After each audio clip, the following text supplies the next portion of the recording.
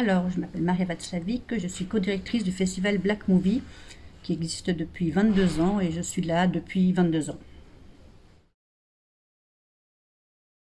Euh, nous avons décidé avec ma collègue Kate Reddy de soutenir SOS Méditerranée parce que c'est une cause qui nous paraît absolument euh, essentielle, il n'y avait aucun doute là-dessus.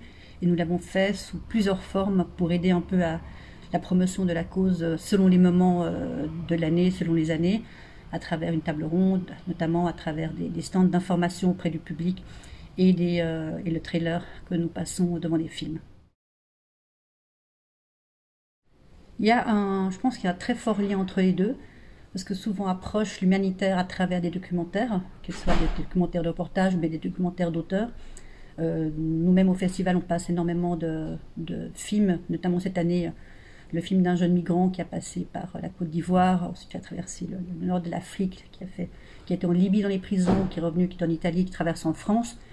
Donc c'est quelque chose de cette manière qu'en tant que, que programmateur, programmatrice de cinéma, on connaît très bien mais à travers le médium du cinéma. Et c'est quand même un médium qui est très euh, grand public.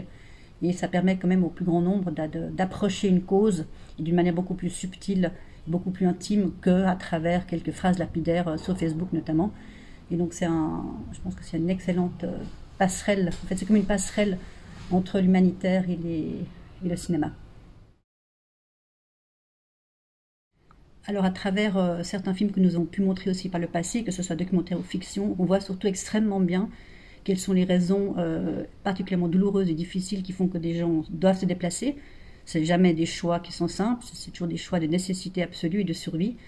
Et euh, donc voilà, de suivre ces personnes à travers des histoires, que ce soit venant de Syrie ou venant d'Afrique noire, d'Afrique du Nord, on voit très bien toute, la complexité en fait de, ces mouvements, de ces mouvements qui, partent vers, euh, un pays, vers un Eldorado, qui pense être mieux. Et donc ça nous permet vraiment de toucher au plus près des, raisons, des raisons de ces causes qui sont euh, sont jamais vénales et qui sont jamais simples.